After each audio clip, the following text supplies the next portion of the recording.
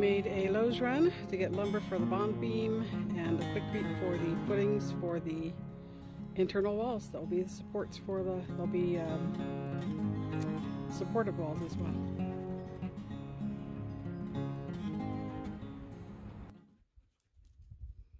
Good morning everyone. Welcome back to Copperline Rattler Ranch. I'm Julia. We've had some computer issues, so we didn't get a video out last week. We're going to try our darndest to get it out this week. It was more of a storage issue. Had too many things stored on it. We had to get an external hard drive and get that taken care of. So we think we're ready to go. So sorry about that, but we're kind of new to this kind of thing and didn't realize how much storage we were going to need on our computer. Anyway, in the meantime, we've been doing the cob underneath the bond beam on everything that's ready to go. Uh, I did it all on the outside. I still have to do the inside over here, the inside over here, inside the house, I mean.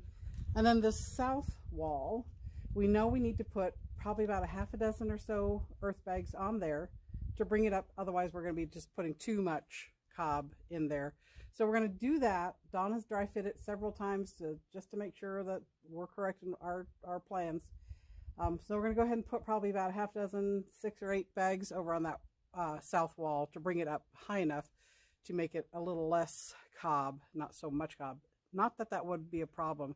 It's just the curing, and we're in monsoon, so the curing takes a little bit longer, and we don't want to necessarily halt everything to let that uh, cob cure. I'm going to show you the north side. We do have to do some more bags on the north side as well, the north wall um, because we noticed that there's a big slump uh, that we need to take care of in the bags.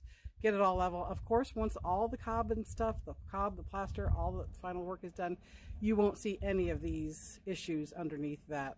We're not going to go for that lumpy bumpy look. It may be a little bit lumpy, a little bit wavy, a little rustic looking, but we're not going to be able to see each individual course and each individual bag when we're done it'll all be kind of blended in as much as we can or as much as we darn flies as much as we want to do so I'm going to give you a look at that north wall we can take a look and see where we're going to go with those bags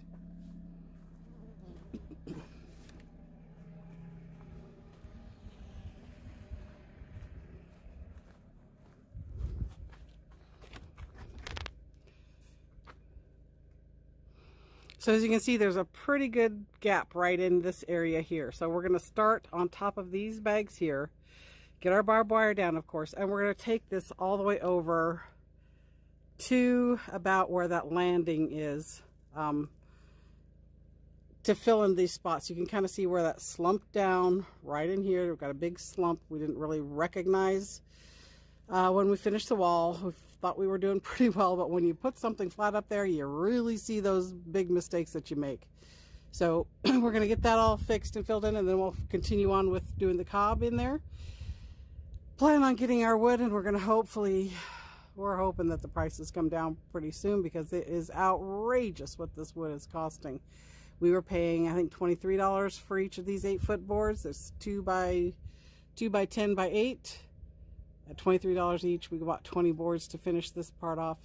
We're just kind of hesitating on getting more wood right now until we kind of see how much we're going to need and hoping that the prices start to come down a little bit because this is just getting outrageous. So anyway, that's where we're at today. We're going to do some more bagging today. Then we'll uh, finish up that cobbing in on the outside and on the inside of the house. And then we'll what Don wants to do is really plan out where our beams are going to go. So he's going to mark, uh, you know, we're going to do like a 16 inch on center because this is going to be an observation deck and we want it to be sturdy enough to hold people up there. Um, so he'll mark the boards where he plans to go, 16 inch on center, and, and we're going to estimate how many boards we need. Of course, get a few extra because there's always warpage, there's always breakage, mistakes. You know, you always want to be prepared for those kind of things. So we'll get that done. We got to still pour our um, footings for the internal walls that will go between the bathroom and the bedroom, the bathroom and the living room, the living room and the bedroom. That, that one will be pretty small, but anyway, we got to get that done, and that will be, let me get you over there. Get this thing to work here. Over in this area, you can see these cleats. Those are going to be holding up the internal wall on to separate the bedroom from the bathroom. Same over here. These cleats right in here are going to separate the bathroom, which will be over here, from the living room, which will be over here. You will not be able to see these steps when we get finished with the plastering on the inside. That will be eliminated when we smooth everything out. So more bagging today, more sifting today, more of the same. We'll kind of show you what we're doing. Thank you so much for watching. Remember to subscribe, like, and share. We appreciate that. Thanks.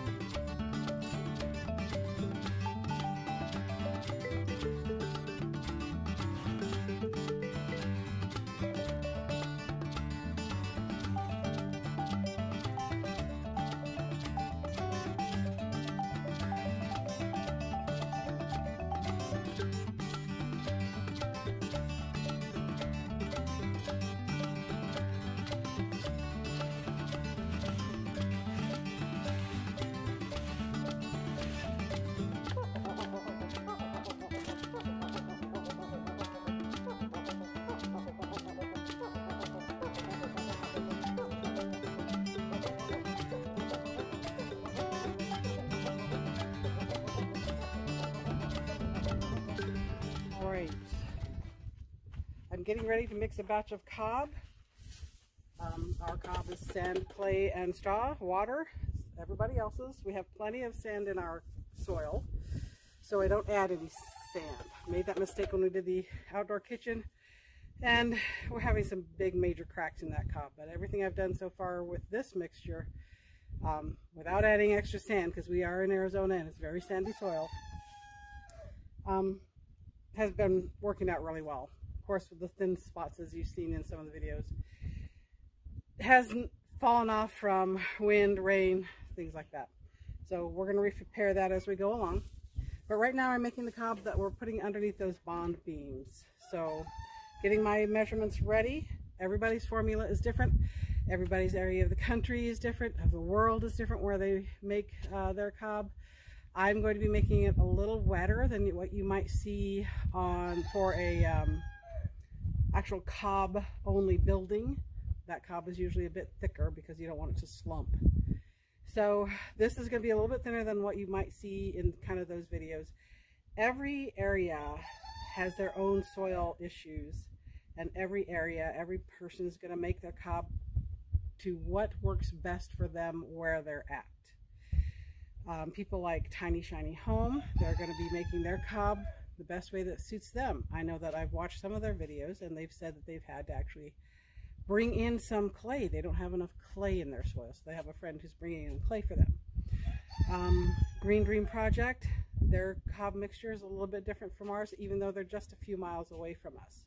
So they mix their cob in a different fashion than what we mix our cob.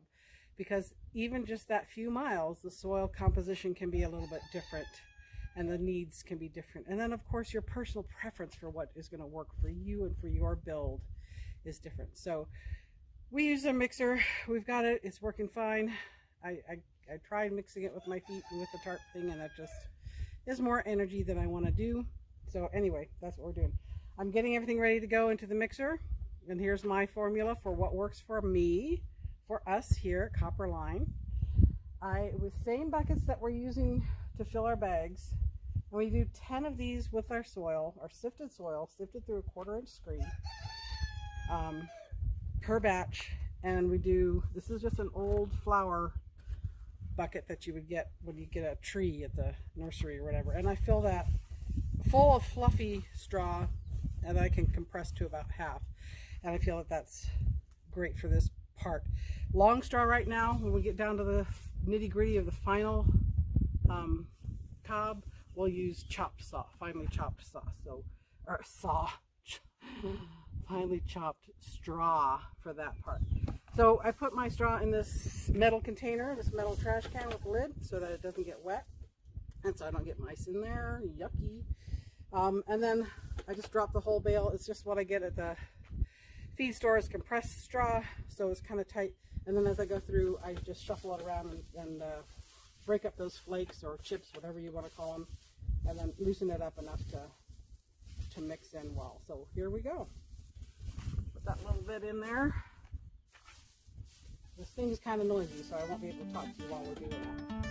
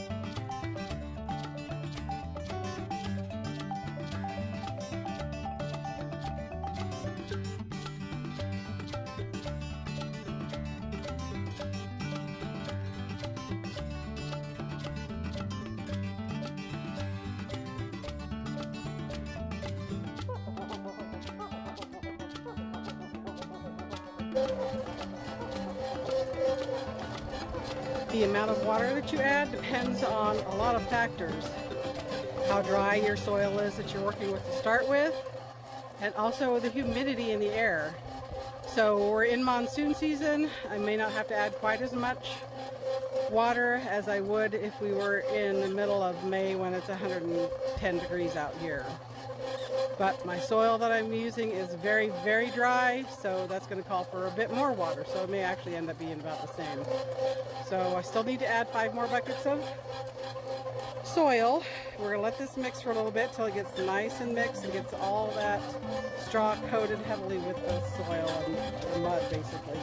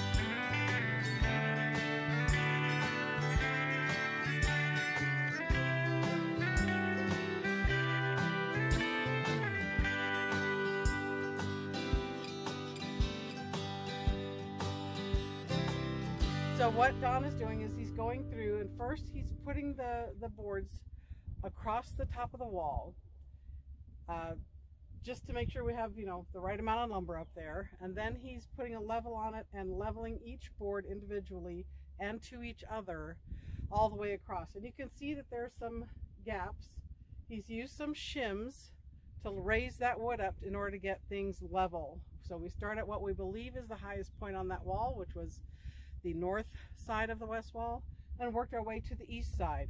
Now what we're going, what we're doing now is we're putting cob in those spaces, in those empty spaces. So I've got it worked pretty far on the inside before I got too late last night. And we're gonna work, finish that inside, come out and do it on this side where we've decided we'll leave our shims in place and have them as structural element as well. Something else that he's also done is he has put um, a piece of rebar in each end of these boards to keep them from shifting while I'm doing the mud. And we we are going to go ahead and do that all along the whole thing. Also, we will put in more rebar on those uh, boards at kind of an angle, like 45 degree opposing angles, to, to just bond that beam to the structure itself. Those pieces of rebar will be about 16 inches long. The pieces we have in there right now are only maybe 12 inches long just to hold the boards in place while we do the mudding.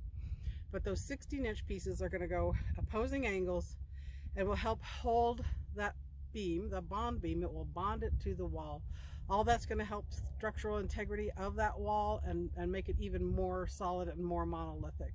Once we're done with all that, we're going to go ahead and probably start on the concrete footing that will be for the internal walls.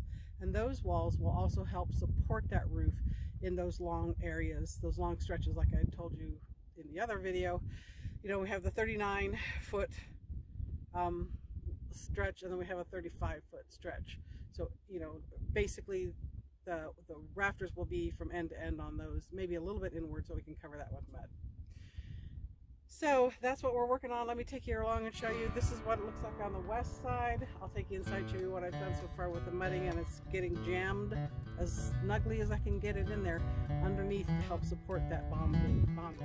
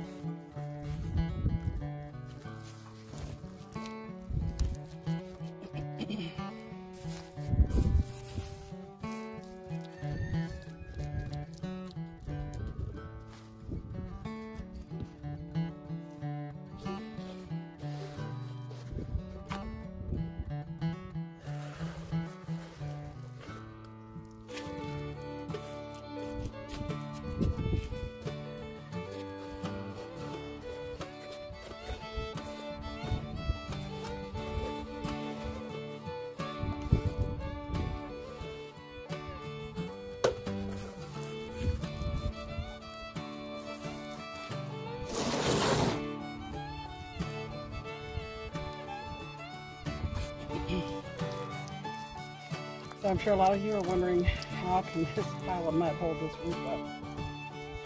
Well, it's going to harden to be like an adobe block, adobe brick once it's cured. So it'll be able to withstand that pressure. These bags here have already cured. Nice and firm. The edges get a little crunchy, but that's just normal. And then on this batch of cob, I don't want it to be smooth because I want it to grab onto the next layer of copper.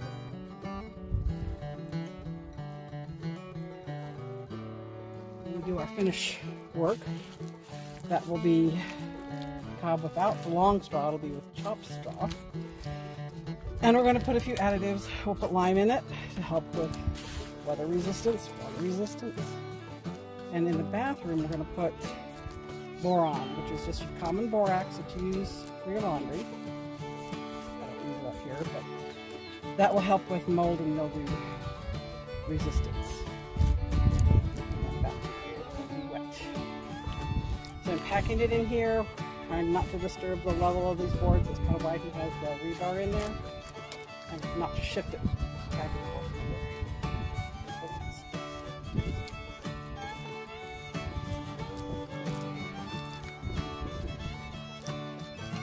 top all the way under. I'm incorporating those shims, like I said. Get some added structural element.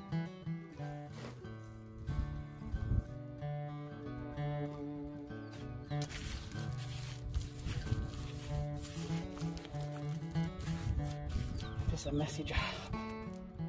Messy, messy job.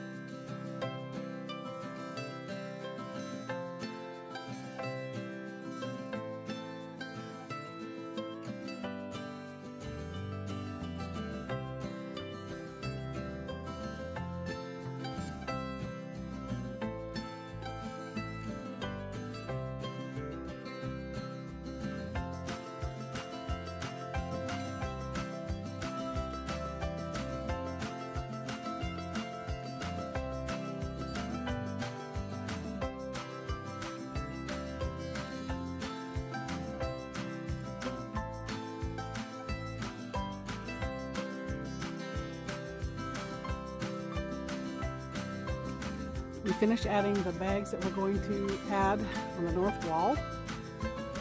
And Don is just finishing up putting the bond beam up there. He's got a couple more places that he needs to add the rebar that will hold it in place for now. And then we'll move on to the last south wall that we need to add a few extra bags to. So that's going to do it for this week's video. I hope you enjoyed it. Please um, like this video, share it, subscribe. Comment below if you have any comments or questions. We try to read those. And please, no ugly websites again. That one last week was just ridiculous. So be mindful, be kind. If your intentions are not good, don't be doing that to people's videos, please.